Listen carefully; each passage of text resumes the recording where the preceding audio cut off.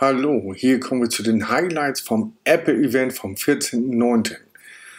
Klar wurde das iPhone 13 und das iPhone 13 Pro vorgestellt, sowie auch die Apple Watch Series 7. Dann wurde ein iPad vorgestellt und ein iPad Mini. Und das ist sogar deutlich besser als das iPad. Ich würde sagen, weiter nach dem Intro und dann gehen wir ein bisschen ins Detail.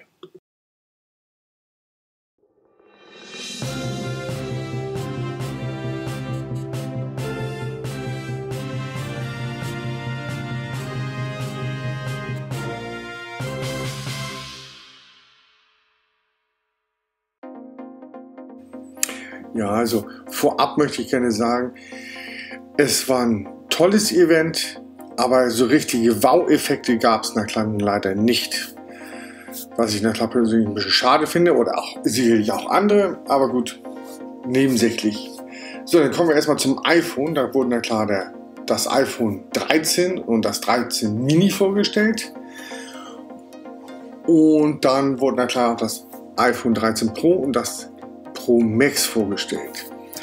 In der Pro-Version nach wie vor gibt es drei Kameras, hat dann auch ähm, eine etwas bessere Akkuleistung und ein 120 Hertz Pendel, was ich persönlich gut finde. Und das ist na nicht nur konstant 120, sondern je nachdem, was ich gerade mache, wenn ich na nur eine Seite jetzt lese und ich bewege nichts, dann schraubt sich die Herzzahl automatisch runter. Ich brauche beim Lesen keine 120 Hertz. Wenn ich aber das bewege, macht sich das ja, bemerkbar, damit das fließender, schneller ist. Die Kameras sind klar deutlich besser geworden. Ähm, das Smartphone an sich ist na klar auch ein bisschen robuster geworden, hat na klar auch eine bessere Batteriezeit, bis zu 20% circa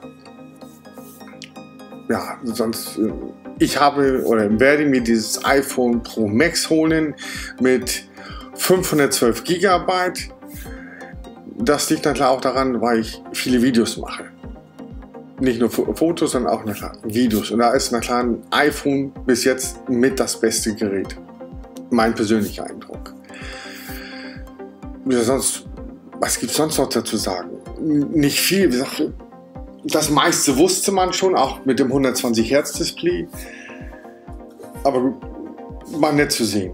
Dann wurde das äh, iPad vorgestellt, was in 10,2 Zoll ist. Das war klar vor ein paar Jahren noch das 10,2 Zoll äh, Pro iPad.